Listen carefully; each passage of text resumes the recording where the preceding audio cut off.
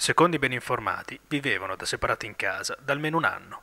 Per questo le dimissioni del vice sindaco di Bresighella, Dario Laghi, non hanno stupito tutti quanti in paese. È datata 29 gennaio 2013, infatti, la prima uscita pubblica di Laghi contro il proprio sindaco Missiroli, una lettera aperta nella quale il vice sindaco esortava il primo cittadino a risolvere urgentemente i problemi di illuminazione della frazione di Fognano. Ad inacidire i rapporti, successivamente, sarebbero arrivati la gestione delle tasse e il ponte lungo, sono quattro i punti che il dimissionario Laghi contesta a Sindaco Missiroli al momento delle proprie dimissioni, a tre mesi dalla fine del mandato e dalle nuove elezioni che decideranno la nuova realtà amministrativa di Bresighella. Al primo punto, la decisione, sbrigativa e superficiale, di applicare la quota massima dell'IRPEF in controtendenza con altre amministrazioni comunali e, accusa Laghi, senza un'attenta analisi delle possibili alternative offerte dal bilancio comunale.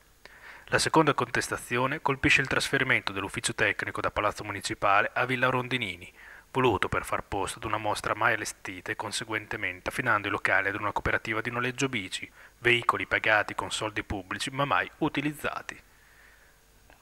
L'atteggiamento riservato da Missiroli sulla questione dei lavori del Ponte Lungo è forse il peccato più grave contestato dal vice sindaco al proprio compagno di governo.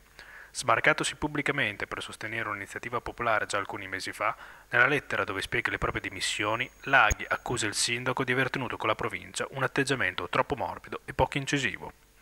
Infine, stando sempre alla lettera di Laghi, il vice sindaco avrebbe rifiutato di condividere con Missiroli il secondo mandato alla guida di Brisighella, ottenendo in cambio l'estromissione dalle decisioni amministrative quotidiane.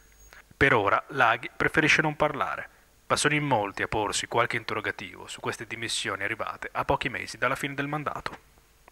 Federico Lega per Faenza Web TV